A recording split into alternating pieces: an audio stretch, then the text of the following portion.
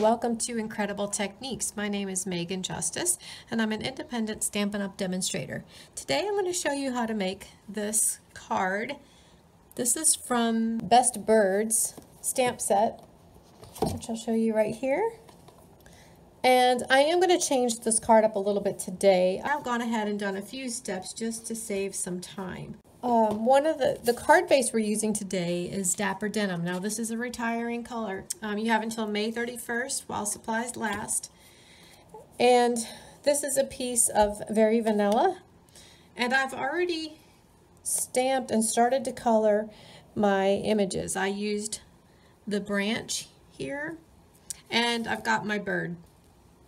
Now there are framelits for this as well so when I went to look for my framelits to cut these out, I didn't have them. But that's okay. If you don't have the framelits, you can what we call fussy cut. I have my uh, snips, uh, Stampin' Up! snips here. And these, they are really sharp and they work great. So I've gone ahead and already stamped and colored my leaf here. And Now in this example, I used Pool Party for this blue. But I decided for this bird, this time, I wanted to try a little bit different color.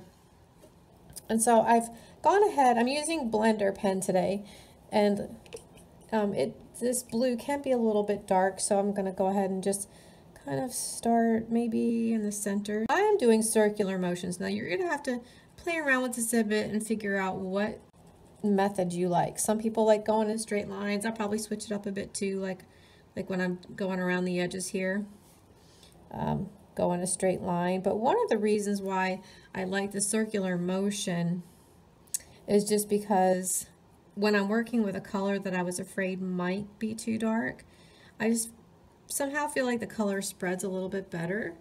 Um, but again, it's just a little bit of trial and error and finding out what works for you. Um, if you don't have a blender pen, you could certainly do this on um, watercolor paper and use your aqua painter or you could use colored pencils or the Stampin' Blends if you have those. I don't want to spend too much time on the coloring part because I don't want you guys to get too bored watching me color. And I'm happy with that. So I'm going to go ahead and close him up and I'm done with my bird.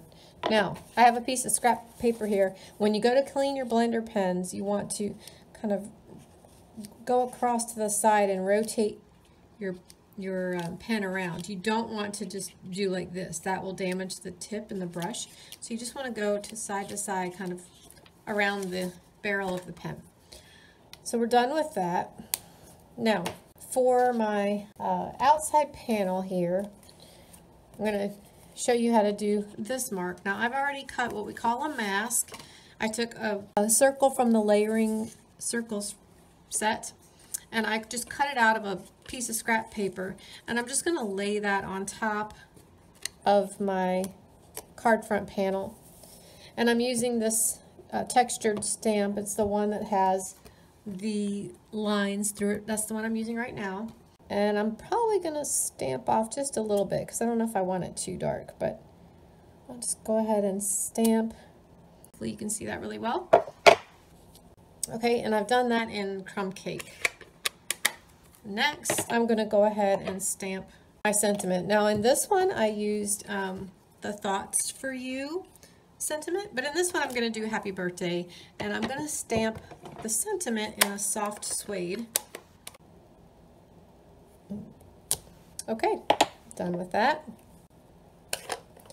Next, um, I'm going to show you how, if you see where I used this copper trim and how I poked holes there. I'm going to show you how I did that. So I just, using my grid paper, if you don't have grid paper, you can just use a ruler. And I just took a, actually I'm going to do this on the back side. I'm lining my paper up with the grid marks and then I'm just putting in a mark at the quarter inch spot. This is just, I'm going to punch a little spot here and this just helps me guide punch. And then I'm going to take this punch so you'll see where this has a little bit of a rounded edge. And what I'm going to do is just go in. Now you want to make sure you're not getting too close to the edge here. So I'm going to make sure that that little line that I drew is kind of over to the to the edge to this edge of the punch and I'm just going to punch this little notch out. So on this one I want to punch closer to this edge. Okay? That's all. If you don't have this, you might be able to try a hole punch. You just wouldn't want to run it all the way through. And you don't have to do this either. I just like the way it, it catches the trim.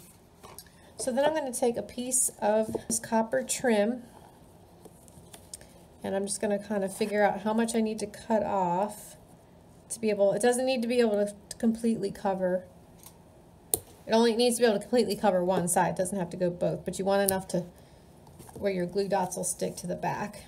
And I'm just going to put a glue dot on each end of this trim. Then I'm just going to carefully wrap this behind, press it down.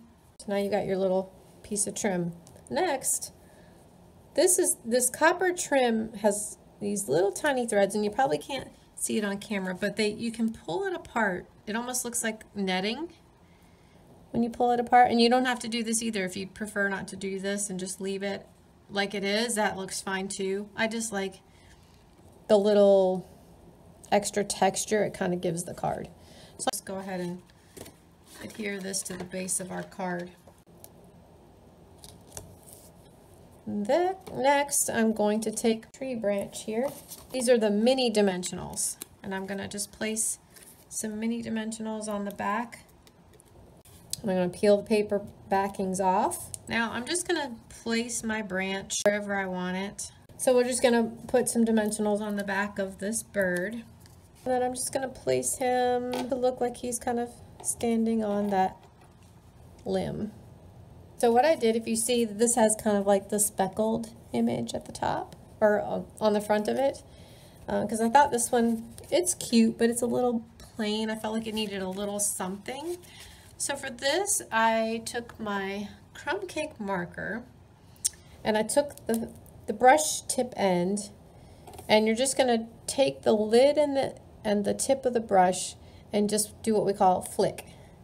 So you can just do some light flicks. It's, it is going to splatter, so make sure you have your work area protected, that you don't get ink on something that you really don't want ink on. So, there you go. You have your finished card. Well, this is the finished card front. Now, in this one, I'll show you, I um, went ahead, this one was a sympathy card actually, so I went ahead and um, stamped a leaf on the bottom inside panel and my sentiment there. And then I also stamped the envelope. I hope you guys enjoyed this project. If you have not yet subscribed to my YouTube channel, please do so, so that you don't miss out on any of the other tutorials that I offer. Once you hit subscribe, you can hit the bell next to it and you'll get email notifications of when I post a new video. Um, if you have any tutorials or stamp sets that you would like to see demonstrated, please leave me a comment and I will be happy to look into doing a tutorial for you in the future. And other than that, you guys have an incredible day. Thanks for watching.